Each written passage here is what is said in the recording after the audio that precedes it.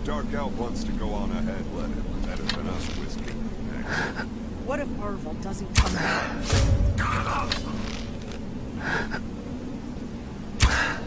back?